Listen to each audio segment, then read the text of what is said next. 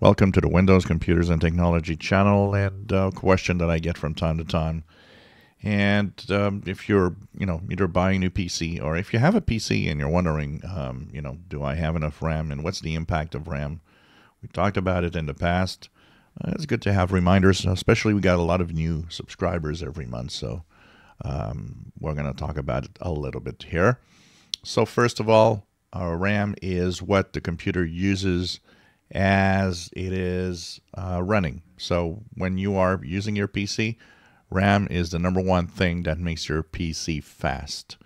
That's because everything that you do, the programs you open, are all stored there. And the reason it is, is because RAM memory is extremely fast. So how much memory should you have? So the minimum requirements in Windows, you know, with four gigabytes, you got enough according to them. I would not recommend four because I think four is probably at the really low limit here. If you've got eight, depending on what you do, it might be fine. I got a couple of machines that've got eight uh, gigabytes here. They're running Windows 10 and 11 very well, as long as you're not a power user. Just a you know standard user with eight will be okay. If you buy a PC, new PC today, I would recommend that you not choose anything that has less than 16. I think 16 is the magic number today uh, and the best number. So if you're a average user um, and you are using your PC and even you know a more powerful power user if you want, I think 16 gigabytes is really really the minimum. It'll keep your computer uh, going fast, and it will of course be um, never pretty much run out of RAM for the most part. Uh, even my gaming PC here that I have, the uh, Asus uh, TUF, is uh, has 16 and it's fine even for the gaming.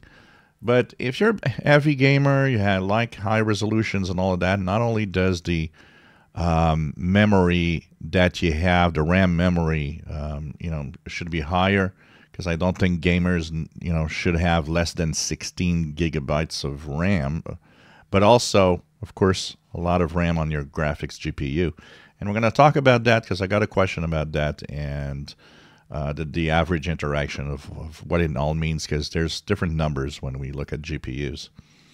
So, um, 16 magic number, and really heavy power users, maybe 32 uh, could be. But there's a limit, a higher limit, where the computer doesn't gain anything from having a lot of it.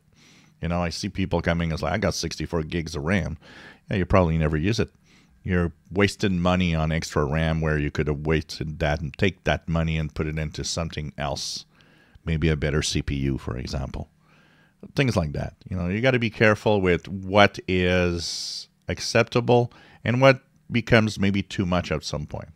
So depending on the, the, the, the usage you do, um, at least eight. I think eight is the minimum today. But 16 is the magic number where, like I said, if you have a new PC, 16. If you have a PC that's not that old and it's got eight, it's not very expensive. You should you should invest in you know putting 16 instead.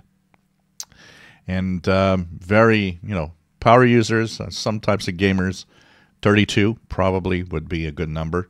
Uh, more than that, I don't think for the most part it's really useful. Um, there could be some exceptions to the rule, but uh, for most people, I think 16 is the magic number.